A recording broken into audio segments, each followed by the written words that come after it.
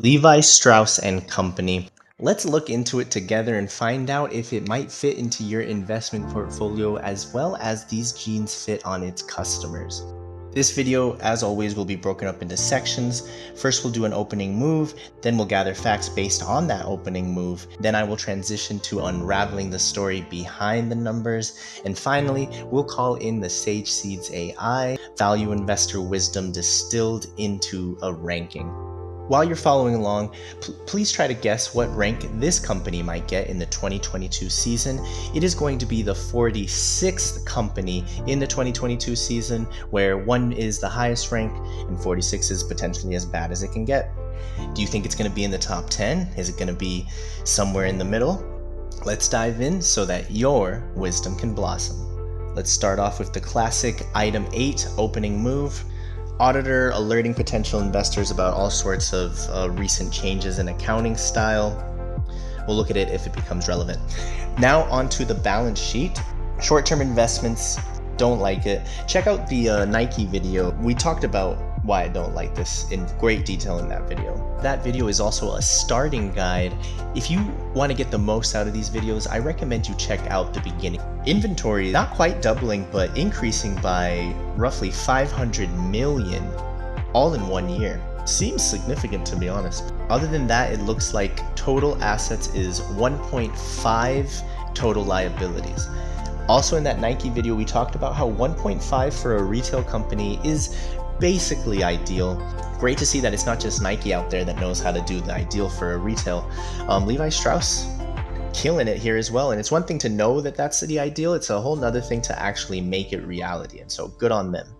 Retained earnings has gone higher than 1.5 billion. Uh, yes, that would be billion. And so it's getting up there. I mean, this is definitely a sizable business. Moving on to the income statement, net revenues have increased by 1.6, 1.7 billion since 2020. Um, you know, that's really impressive. Uh, but let's also remember a lot of these retail companies had very bad years in 2020. This could be more a recovery story than a growth story. Um, in fact, I'm willing to bet if we scroll down, yep, uh, net income was negative in 2020. And so this whole year should just be taken with a grain of salt. One thing we can see though is that since then, cost of goods sold has risen by about 500 million, whereas net revenues have increased by 1.6 billion. So that is quite healthy. Nice, nice gross profit margins. Um, however, by the time we make it to operating income, these last couple years are about uh, uh, 14, 15% uh, operating income margin. That's more what you would expect out of a retail business for sure it's retail, uh, technically healthy for a retail company. Onto the statement of cash flows they've elected to include all the changes to working capital into just one row. I mean, retail companies, their whole thing is managing working capital, right? It's it's creating inventory, in this case, clothing, different articles of clothing, um, getting that to places where it's sold, and then making sure to collect the revenue from those sales. I mean, and I don't really get much detail when I just see it all in one row grouped together here. In fact, it looks like they spent quite a lot in increasing working capital in the last year. Uh, this is actually very significant, coupled with the fact that we saw inventories, um, let's just say roughly double, increase heavily that's the conclusion of the opening move. These two things paint a picture of a lot of money going into inventory, but why though? Let's see if they have an explanation for it. As investors, we very much want to understand if there are potential mistakes happening. Maybe we'll pop in and look at a business description real quick in the notes to the item 8. One of the world's largest brand name apparel companies, it designs, markets, and sells either directly or through third parties and licensees jeans, casual and dress pants, activewear, tops, short, yada yada. Lots and lots and lots of things for men, women, and children all over the world. Their brands include Levi Strauss, Denizen, Docker, and Beyond Yoga brands.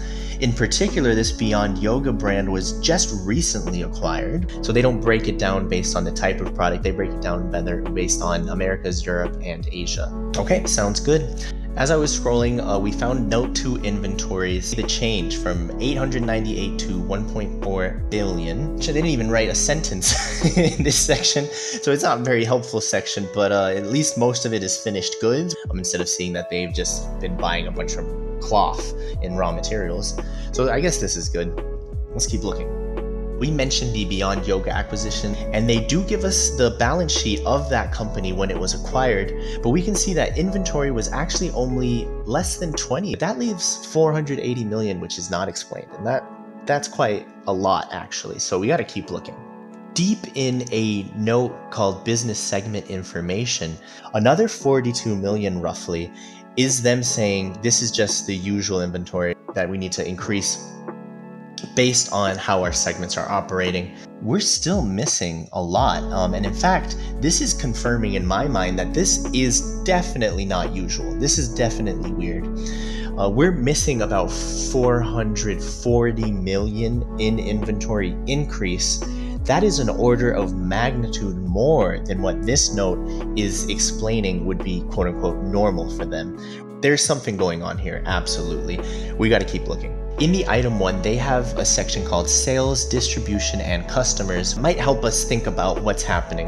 Inventory, as they define it in their balance sheet, any piece of clothing in any store, whether it's a franchise or a partnership or their own store, is being counted in inventory. They have 1,089 company operated stores in 38 countries. Then they have about 1,200 stores that are franchised. Another 7%, 7 to 8% of their revenue comes from the e commerce websites. Very, very cool that they're essentially a franchise company first, a retailer second. Didn't necessarily expect that.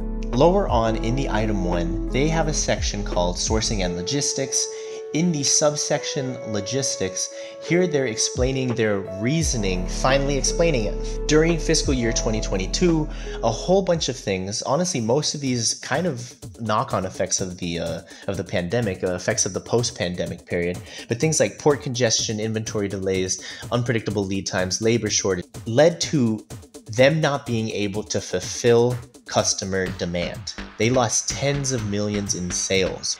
That seems to have affected them quite a lot. In an effort to mitigate future lead times, they have intentionally received future season inventory earlier than typical practice during the second half of 2022.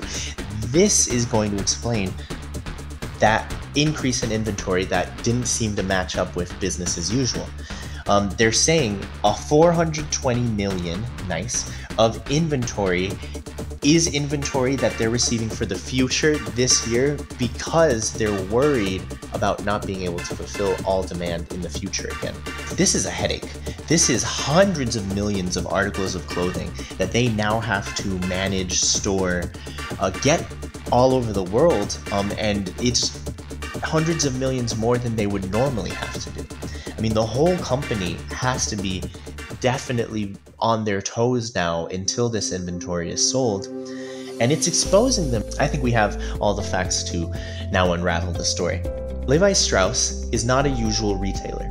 They're a franchise business. Their priorities really are to make sure that their brand names and the customer experiences that people associate with these brand names be protected, even at certain costs. They might now not be able to sell all of this.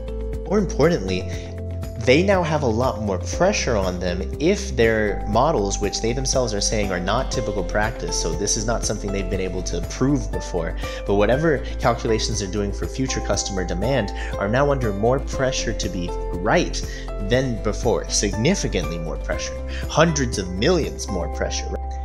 Hey, if you're getting more comfortable uncovering the stories behind the numbers, please like and subscribe. That is way worse if you're talking about 10% of hundreds of millions extra. As investors in this, we should be realizing that we have to have perfect execution just for this to not change anything, just to keep things normal. If there's any deviation from perfect execution, this will show up as costs to the income statement or decreases in revenue because they're going to have to discount a lot of this inventory in order to get rid of it. Here they're saying it better than I am. Um, if they fail to accurately forecast consumer demand, they might experience excess inventory levels. It's a double whammy because there's an opportunity cost there, and so it's twice as bad. You are missing out on selling a full price piece of clothing in order to sell a discounted piece of clothing. However, here they're saying the other side. Kind of have to appreciate, honestly. this is a franchise company and that's really the core point to understand here is that the number one priority is managing the customer experience, making sure that if you go to a store, you're going to be able to try on the clothing that you wanted to try on, and that you're not going to walk in and see empty shelves. Because if someone takes the time to go to one of their stores in the next year and there are empty shelves, it's a waste of a trip. Customers will remember that for years that will have a direct negative impact on their franchise business, their ability to license their brand names out to people who want to start up uh, their own retail stores. And so, a tough decision, meaning that in the short term, there's basically nothing but slightly bad effects from doing this. They had to do it, managing the customer experience. So there are retail companies, there are franchise companies, and this one is both. But We got to give them props for doing something bold. Um, hopefully it works out. Good chance that they're doing the right things. Really, at least their intentions are long term, which is almost always the right decision. And they're not just standing by, um, they're actively recognizing that their brands have value. They need to protect that value even if it means going out of their way the next couple of years. Please like and subscribe. It really helps out the channel, trying to get it off the ground. I'm trying to continue to find the best way to package these videos. I'd love to hear what you guys think. In the comments below, share your wisdom, share this video.